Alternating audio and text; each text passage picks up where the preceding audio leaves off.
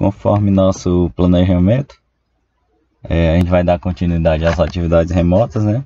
E aí o próximo assunto é a noção básica de estatística. E aí para começar a estatística, nessa aula de hoje a gente vai falar sobre análise gráfica, né? Que é um tópico bem importante que cai bastante no Enem. Então você saber ler e interpretar um gráfico é bem, bem importante. Então é isso que a gente vai fazer na aula de hoje. Então, o que, que são gráficos estatísticos? Né? É uma forma de apresentação dos dados estatísticos, onde o objetivo é produzir no público em geral uma impressão mais rápida e viva no fenômeno de estudo, já que os gráficos falam mais rápido da compreensão que as séries. A representação gráfica de um fenômeno deve obedecer a certos requisitos fundamentais para ser realmente útil. Então, por que, que os gráficos são interessantes? Porque eles conseguem repassar a informação de uma maneira clara e bem bem rápido, né? No momento que você olha o gráfico, você tem uma leitura boa daquela pesquisa que você realizou. E aí existem vários tipos de gráfico, né? Eu vou passar aqui só para conhecimento. Primeiro deles, gráfico em linha, constitui uma aplicação de processo de representação das funções no sistema de coordenadas cartesianas.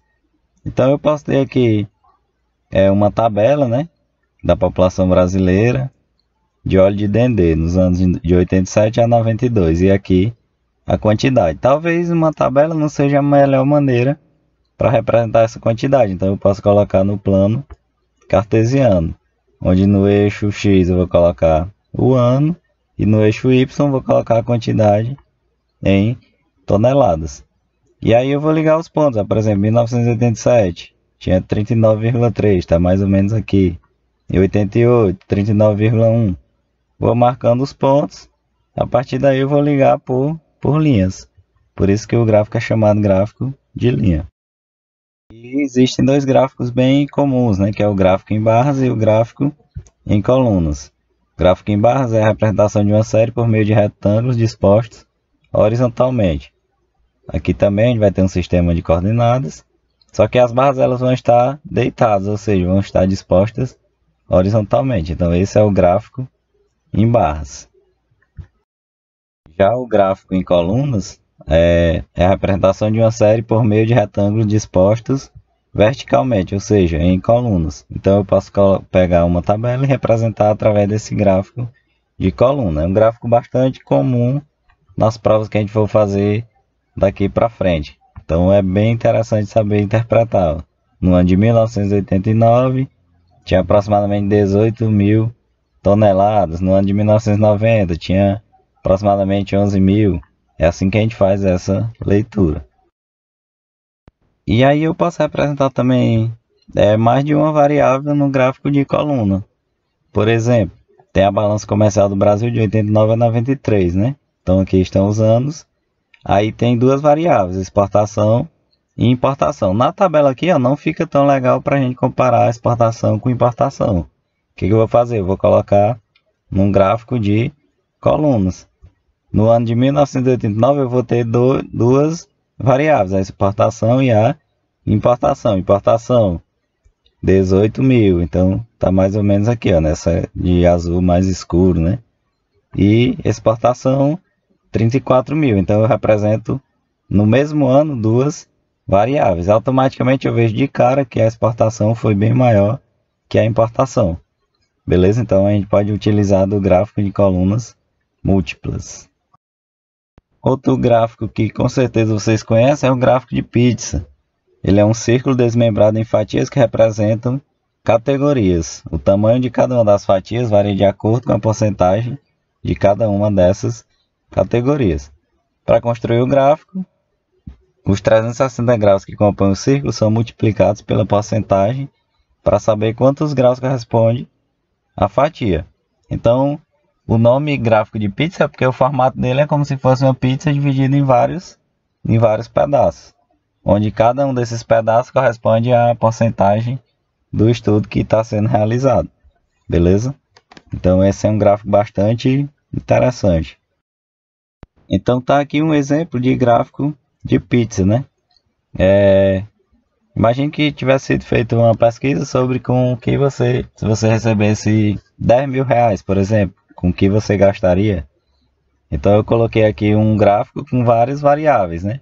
Por exemplo, 16% diz que gastaria com bens essenciais, 20% compraria um item de luxo, é, eu gastaria com férias, presente, 2% daria para instituição de caridade, outros 7% pagaria dívida 24%, 31% pouparia. Então, de cara, a gente vê que a maioria pouparia. Por quê? Porque a fatia que está representando poupar é a maior fatia da pizza, beleza? Então aqui é a segunda maior, pagar dívida. Terceira maior, comprar item de luxo, beleza?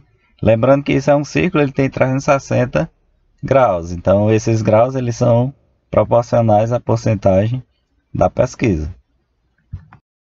E aí tem dois gráficos que com certeza vocês já viram é, na geografia, é muito utilizado, que é o cartograma e o pictograma. O que é o cartograma?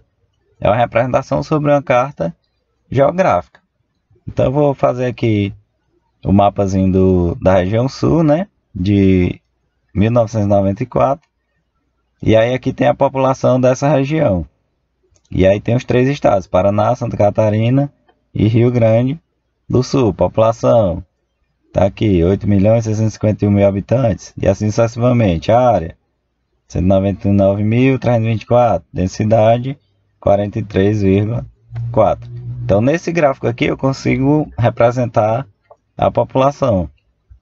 E aí, de que forma eu faço isso? Cada pontinho desse representa 400 mil habitantes, beleza? Então, se o Paraná tem, por exemplo, 8 milhões de habitantes, eu vou dividir esse valor por 400 mil e vou descobrir quantos pontinhos tem dentro do estado do Paraná. E assim eu faço com os outros dois, beleza? É, posso fazer também a densidade no sul do Brasil, né? E aí colocar por cores diferentes, por exemplo, menos de 51 habitantes por quilômetro quadrado. É o Paraná, beleza? É Rio Grande do Sul, menos de 34. Então eu consigo fazer através de, desse gráfico que a gente chama de cartograma. Aí esse outro é o pictograma. Ele é um gráfico bem curioso constitui um, um dos processos gráficos que melhor fala ao público, pela sua forma ao mesmo tempo atraente e sugestiva. A representação conta de figuras. Então, por exemplo, se eu vou fazer um gráfico representando a população do Brasil, eu vou colocar uns bonequinhos, né, representando pessoas, beleza? E aí eu vou colocar a minha legenda, ó. cada símbolo desse representa 20 milhões de habitantes. Então, 20, 40, 60 como aqui está a metade, tem mais 10, então 70 milhões. Beleza? E assim a gente faz com os outros, com as, nos outros anos aqui. Então, conhecendo os tipos gráficos, né? A gente vai aprender a interpretar esses gráficos. Não importa a forma que vier, você tem que saber interpretar. Então, a questão do Enem diz o seguinte. Os exercícios físicos são recomendados para o bom funcionamento do organismo pois acelera o metabolismo e, em consequência, eleva o consumo de calorias. No gráfico estão representados os valores calóricos em quilocalorias gastos em cinco diferentes atividades físicas, em função do tempo dedicado às atividades, contados em minutos. Qual dessas atividades proporciona o maior consumo de quilocalorias por minuto? Então, isso aqui é uma relação importante. Ó. Eu quero um maior consumo de quilocalorias por minuto. Por exemplo, é, essa substância 1 consome 20 calorias em 10 minutos. Então, qual foi o consumo por minuto? Então, vamos fazer, ó, 20 dividido por 10. Por quê? Porque eu quero quilocalorias por minuto. Esse por da ideia de divisão. 20 por 10, 2 quilocalorias por minuto. Vamos fazer dos outros, ó, o 2. 100 quilocalorias em 15 minutos. Então, 100 dividido por 15, 6,5 67. Esse outro é o 3, 120 em 20 minutos. 120 dividido por 20, 6. O 4, 100 dividido por 25. 100 dividido por 25, 4 quilocalorias por minuto. E o último, o 5, 80 dividido por 30. Então, agora, como eu sei o consumo de quilocaloria por minuto de cada uma dessas substâncias, o que, que a questão pede? o maior consumo. Maior consumo é da substância 2, beleza? Que tem 6,67 quilocalorias por minuto. É, aqui tem outro probleminha bem, bem curioso, né, do, do Enem também. O probleminha diz o seguinte, ó. Um comerciante que vende somente pastel, refrigerante em lata e caldo de cana em copos fez um levantamento das vendas realizadas durante a semana. O resultado desse, é, desse levantamento está representado no gráfico. Aqui está o gráfico. É um gráfico diferente, mas é uma representação gráfica. Ele estima que venderá em cada dia da próxima semana uma quantidade de refrigerante em lata igual à soma das quantidades de refrigerante em lata e caldo de cana em copos vendidos no respectivo dia da última semana. Quanto aos pastéis, estima vender a cada dia da próxima semana uma quantidade igual à de refrigerante em lata, que prevê vender em tal dia. E para o caldo de cana, estima que as vendas diárias sejam iguais às da última semana. Segundo essas estimativas, a quantidade a mais de pastel que esse comerciante deve vender na próxima semana é. Então aqui tem de uma semana, e aí ele dá alguns instrumentos para a gente associar com o gasto da próxima semana. Então, primeiramente, a gente tem que saber qual foi o consumo dessa semana em cada um dos, dos dias. Então, aqui a gente tem a segunda, terça, quarta, quinta, sexta, sábado e domingo. Vou fazer uma tabelinha que fica melhor para a gente representar. E aqui é pastel, refrigerante e caldo de cana. Pastel, refrigerante, caldo de cana. Por exemplo, na segunda, essa linha mais espessa é o que? Pastel. Foram dois pastéis, foram três caldos de cana e foram quatro refrigerantes, beleza?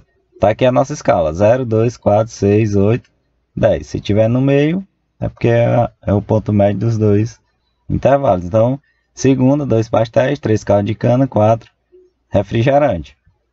Na terça, por exemplo, quem é esse pontilhadozinho?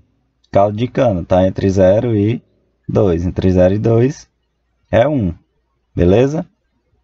É, esses dois aqui estão com o mesmo valor, estão percebendo? O pastel e o refrigerante. Isso aqui corresponde a quanto? No meu gráfico. Corresponde a 4. Então, 4 refrigerante e 4 pastéis. Beleza? E assim eu faço a minha tabela. De forma que eu já sei quantos pastéis eu consumi nessa semana. Aí na próxima semana, como quanto eu sei que consumi? Vamos lá. Ó, ele diz na questão que a quantidade de refrigerante em lata vai ser igual à soma das quantidades de refrigerante em lata e caldo de cana. Então, por exemplo, 4 mais 3, 7. 4 mais 1, 5. 5 mais 2, 7. Beleza? Então, eu encontro a quantidade de refrigerante. Ele fala na questão que a quantidade de caldo de cana vai ser a mesma também. E quanto aos pastéis, estima vender a cada dia da próxima semana uma quantidade igual à quantidade de refrigerante em lata que prevê vender em tal dia. Então, o refrigerante eu já encontrei, quantidade de pastel também. Então, tem a quantidade desse, desse dia, dessa semana e dessa. Ele quer saber quantos pastéis vai vender a mais. Então, se eu somar aqui, ó, vai dar 45. E se eu somar aqui, vai dar 72. Logo, para saber o que vendeu a mais, 72 menos 45, que é igual a 27. E aí, para finalizar, uma outra questãozinha do Enem. Cultivo de uma flor rara só é viável se, do mês do plantio para o mês subsequente, o clima da região possuir as seguintes peculiaridades. Aí tem três regrinhas. Variação do nível de chuva, pluviosidade nesses meses não for superior a 50, temperatura mínima nesses meses for superior a 15 graus, ocorrer nesse período um leve aumento não superior a 5 graus na temperatura. Um floricultor pretendendo investir no plantio dessa flor em sua região, fez uma consulta ao meteorologista e ele representou o gráfico com condições previstas para os 12 meses seguintes. Com base nas informações do gráfico, o floricultor verificou que poderia plantar essa flor rara. O mês escolhido foi. Perceba que aqui ó, eu tenho de maio a maio, né? Tem um ano. Só que a questão já me dá alguns dados. Ó, janeiro, fevereiro, agosto, novembro e dezembro. Então eu vou me ater principalmente a esses meses. Mas primeira regrinha. Ó, ele diz que a temperatura mínima é, tem que ser superior a 15. Então também que a temperatura mínima, que é essa linhazinha pontilhada. Se eu traçar uma linhazinha azul, O que tiver daqui para baixo já não me serve, que é a primeira condição. Então, por exemplo, mês de agosto está bem em cima da linha. Então eu já eliminaria o mês de agosto. Eu ficaria entre quem? Janeiro, fevereiro, novembro e dezembro. Então vamos para os outros itens. Ó. É, lembrando que pluviosidade são essas barras aqui e temperatura máxima é essa linha de cima. O que que diz? Ó? É, a pluviosidade não pode ser superior a 50 milímetros. Então, de janeiro para fevereiro. Cadê janeiro, fevereiro? Realmente não é. Aqui está em mais ou menos 150 e aqui está uns 130. Então a diferença está só de uns 20, que é menor que 50. Então aqui pode ser janeiro ou fevereiro. Novembro e dezembro, pluviosidade. Também, ó, aqui está bem pertinho de 200. Essa diferença com certeza não dá mais de 200. Então essa aqui não eliminou ninguém. Terceira, ocorrer nesse período um leve aumento não superior a 5 graus na temperatura. Então a temperatura tem que ter um aumento. Quem é a temperatura? Essa linha de cima aqui, ó. De novembro para dezembro teve foi uma diminuição da temperatura, então não pode ser novembro e nem dezembro. De janeiro para fevereiro teve um aumento, esse aumentozinho bem pequeno, porque está entre 30 e 35. Então, é, de janeiro para fevereiro satisfaz todas as condições. Então, como é que eu sei se é janeiro ou se é fevereiro? É simples, porque é, o floricultor diz que o cultivo de uma flor é viável se do mês do plantio para o mês subsequente tiver essas três condições. Então, o mês de plantio é janeiro e o mês subsequente é fevereiro. Logo, a resposta é janeiro. Beleza? Então, era essa a nossa aula de hoje.